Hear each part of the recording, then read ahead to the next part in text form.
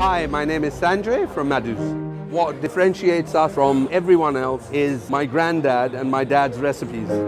That's how we've held the number one position now for 35 odd years, but we are forever innovating. I'm a big believer in continuity, loyalty. That's how we've built our business.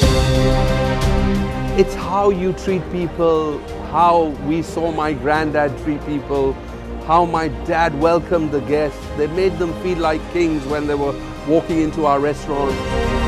That kind of attitude is still here.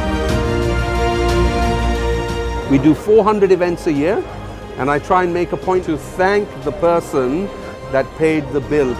When they in turn thank us, nothing makes you feel better than that, makes you sleep well at night.